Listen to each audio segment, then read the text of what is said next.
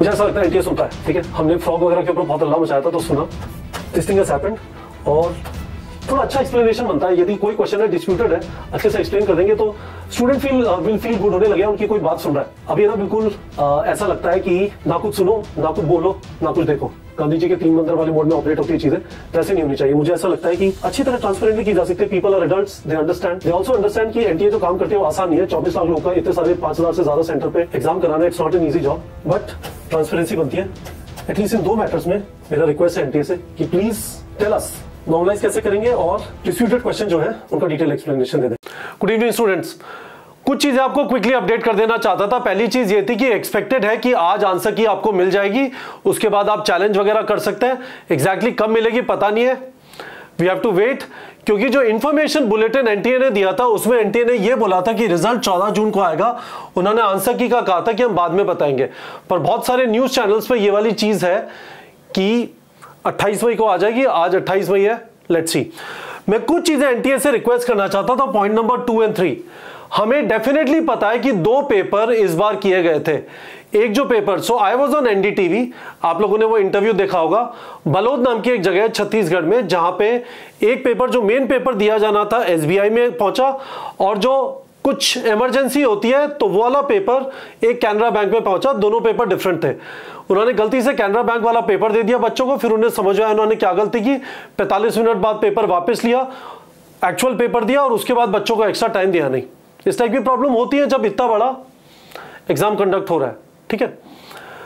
तो चीज़ यह है कि मुझे लगा कि वाला पेपर किसी को दिया ही नहीं गया होगा। तो उसके बाद एक स्टूडेंट है जो झज्जर से है और उसने मेरे साथ वो पेपर शेयर किया कि झज्जर के अंदर पहली बार सेंटर था and they gave the emergency paper only उसने मेरे से पेपर शेयर किया, उसको हमने टाइप करा के हमारे टेलीग्राम चैनल पर डाल दिया। What it does is it raise the question on कि पेपर का नॉर्मलाइजेशन कैसे होगा।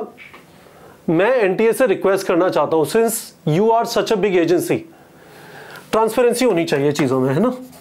लोगों को पता होना चाहिए कि किस बेसिस पे चीज़ें हो रही हैं। तो मेरी पहली रिक्वेस्ट यह है कि नॉर्मलाइजेशन का क्या मैकेनिज्म है? प्लीज़ एनटीए क्लियरली बता दे। दूसरी चीज़ क्वेश्चन कुछ डिस्प्यूटेड है, ठीक है?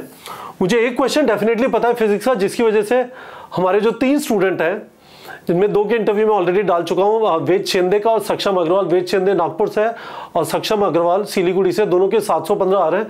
और वो वाला क्वेश्चन उसमें उन्होंने मार्क कर दिया बोथ स्टेटमेंट्स आर करेक्ट है ना?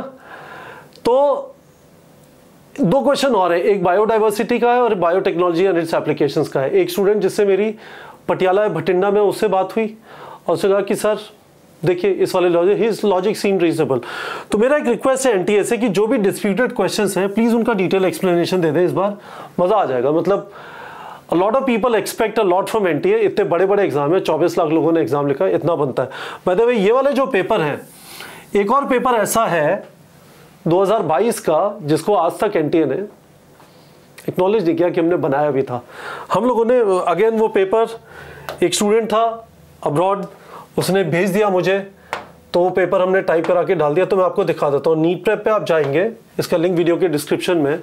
तो ये पास्ट ईयर पेपर्स हैं। ये वाला वो झज्जर का पेपर है। है ना?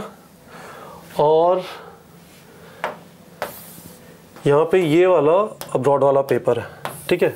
इन दोनों के पीडीएफ भी हमने नीट प्रेप के टेलीग्राम चैनल पर डाल दिया आप डाउनलोड कर लीजिए। Both of these are very good papers आप इन्हें अटेम्प्ट कर सकते हैं।